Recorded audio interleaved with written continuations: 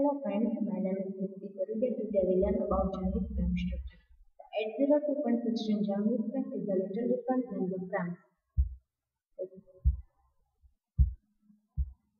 The two frame structures are for normal and control 802.16 frames. Let us look at the normal frame first.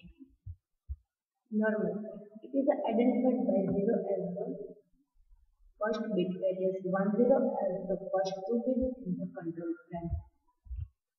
And is the AC bit indicates whether the frame is encrypted or not.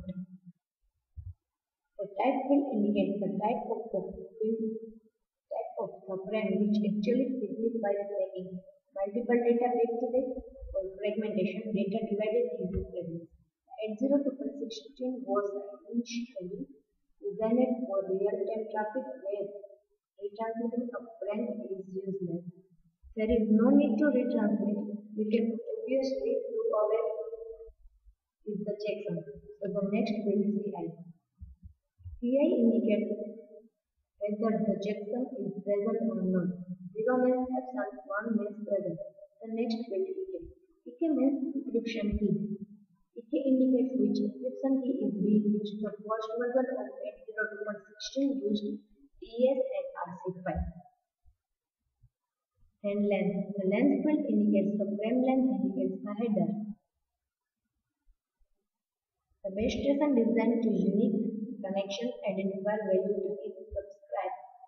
For each subscriber get a unique connection identifier. Every time the subscriber sends something to the base station, the connection identifier indicates the connection that the subscriber is referring to. CRC is calculated using Binomically, x raised to 8 plus x square plus x plus 1. Payload. Payload contains data which can be particularly long as the 802.16 can send data back to back in a payload. An optional 4 byte CRC is provided at the end to provide error correction over the entire connect. This field is kept optional because the 802.16 provides forward error controller using Hamming code in the physical layer.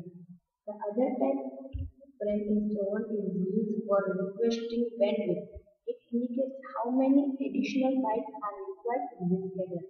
Obviously, this request neither need data nor the CRC over it. Thank you.